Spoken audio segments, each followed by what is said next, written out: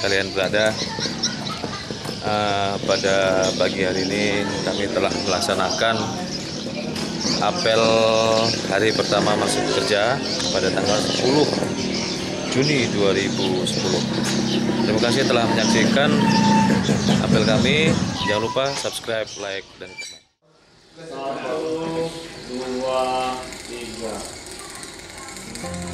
Lagi.